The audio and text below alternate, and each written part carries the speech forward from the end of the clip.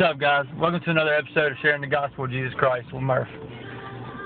Uh, first and foremost, I hope you guys have had a very blessed week. Uh, and secondly, um, I want to say I'm not here to belittle anyone, uh, anyone's religion, anyone's uh, beliefs, you know, whatever uh, you believe in, you know, I'm not here to belittle that. What I'm simply here to do is to tell you what Jesus Christ has done for me in my life and, um, you know, as a Christian, I'm going to share the gospel of Jesus Christ. I will stand on his promises, and I will have faith and trust in him all my life because I know that I know. And uh,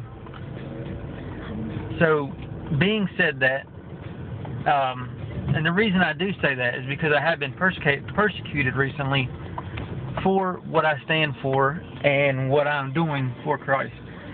Um, and you know by the enemy through through people and you know I I don't look at it as anything uh, out of the ordinary because it says in God's word that will happen. We will be persecuted for His name's sake, and you know, um, so I'm not mad at that at all.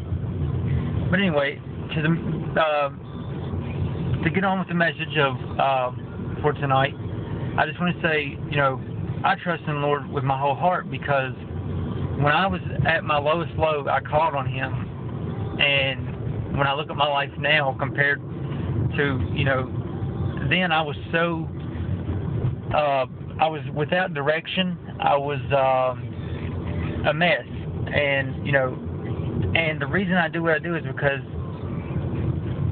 you know I know that there's people out there that are like, that were like me. Maybe not the same situation. You know, I had my own situations but there are miserable people out there looking for hope, looking for an answer, looking for uh, something to believe in. And I'm just here as a personal witness and a testimony that of God's grace that He is the answer, He is the way, He is the life. I'll I'll tell you what he, you know. I've told and I will tell you what He has done for me, and you know, He's uh, just made my life so much more abundant. And just to have a relationship with the Creator is so it's unbelievable. It's unbelievable when I, you know, whenever I come and uh, and I talk to Him and I communicate with Him, and you know, He just talks to me in so many different ways, and it's amazing. And I thank the Lord for it. And so I will stand for Jesus all my life because I, I see what he's done in my life. And uh, it brings me to the message tonight. Uh, I'm not going to read exactly, the verse. I'm just going to read what it's about because I'm driving down the road in my car. And uh, But the verse comes from uh, Matthew chapter 19, verse 13. And um, what happened is kids were going to come, they were bringing kids to Jesus so Jesus could put his hands on them. And and the disciples rebuked them, and Jesus said, you know, don't do this, because like the the ones that are like the children are going to be the ones that'll be in the kingdom of heaven. And um, you know, when the Lord delivered this message to me, I instantly thought of my daughter and how you know my wife says it all the time that she depends on us, and you know she she trusts us. You know, she can't do anything on her own. She uh she needs us to feed her. She needs us to take care of her, and um, and she depends on me to do that. And you know, I feel like that's the way the Lord wants us to be with Him. And you know, He is our Father. He wants to take care of us, and we need to let Him take care of us. We're hopeless without Him. I mean, um, you know, we can put on a pretty face and think we have it all together, and um, and you know put on this facade that everything's okay in our life. But unless we know our Creator and you know we, what are we really, you know, what do you what do you have to trust in at the end of the night? I mean, because a bank account isn't going to do it, uh, possessions isn't going to do it I, am putting my faith in Jesus because I know what He's done for me, and I know what His Word says. I know what His promises say. And He tells me that He's going to prepare a place for me, and I truly believe that with all my heart because I know what He's done for me thus far already. And you know, I'm not trying to push anything on you. I'm not trying to. Um, I'm not trying to uh, put down anything you believe. All I'm saying is I know what Jesus has done for me, and I know that if you're hurting, I know that if you're without direction, I know that if you know something is not right in your life, Jesus is the answer, people. And uh, even if you do feel like everything's right in your life, Jesus is still the answer. I'm sorry. He's the way, the truth, and the life, and I love Him with all my heart. And um, you know, like I said, I was lost and so without direction and just uh, miserable and so scared of everything. And I don't know what your situation is tonight. Your situation may be completely different than mine was. But all I'm all I'm uh, telling you is that Jesus is good.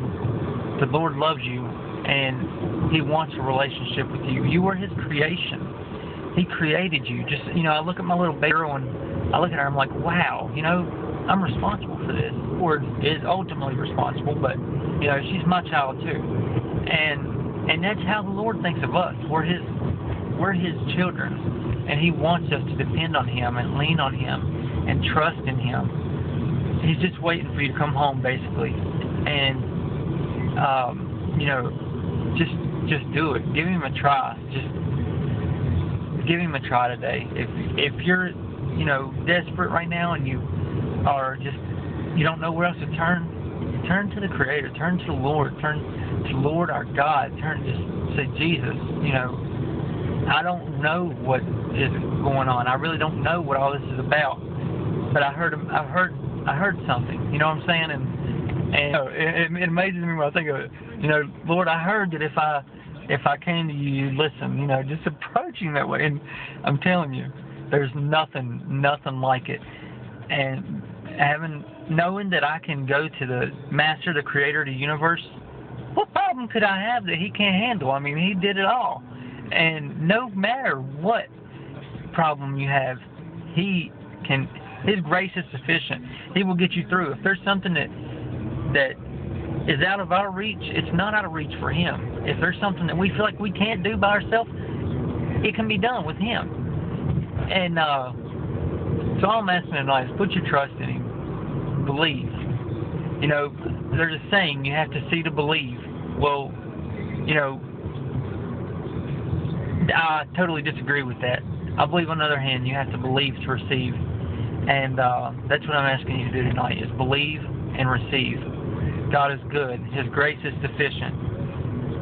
Just uh, trust in Him and be like the little children. Depend on your Father. Depend on Him. Trust in Him. You know, if you have a heavy burden, a heavy load, you can't do it on your own, give it to the Lord. That's what He wants you to do. Um, anyway, I'm going to come to a close here.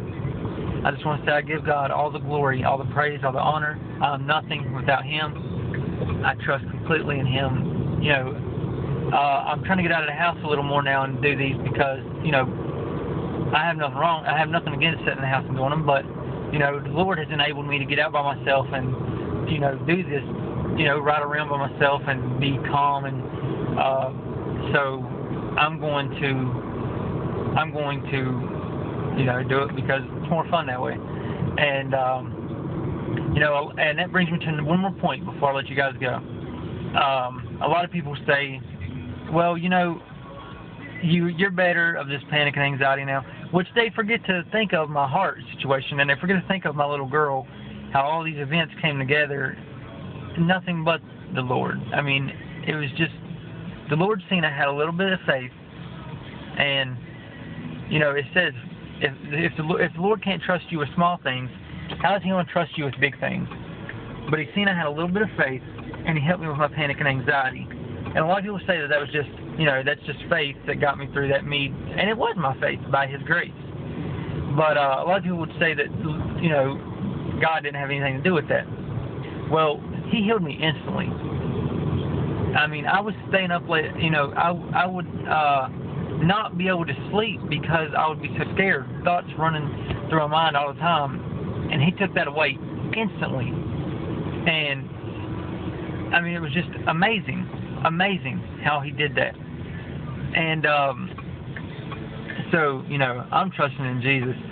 And then, not to mention my little girl, how she came, how, you know, they were saying I was probably going to have a heart transplant. I went down there and it was just a test of faith, and everything was fine. The Lord wanted wanted me to get out of that, wanted to take care of me and give me a more abundant life. And that's what He wants for all of us, is to have a more abundant life in Him. So trust in Him. Guys, you have a, a great night, a great week. Um, and just and God bless you. I pray if there's anyone out there right now that don't know Christ, that you just come to Him humbly and just say, Christ, you know, Jesus, Lord, I need you. And uh, we all need Him. And His grace is sufficient. I love you guys. You have a great week. Uh, and I will see you next week. Lord willing. Peace. Murph signing out.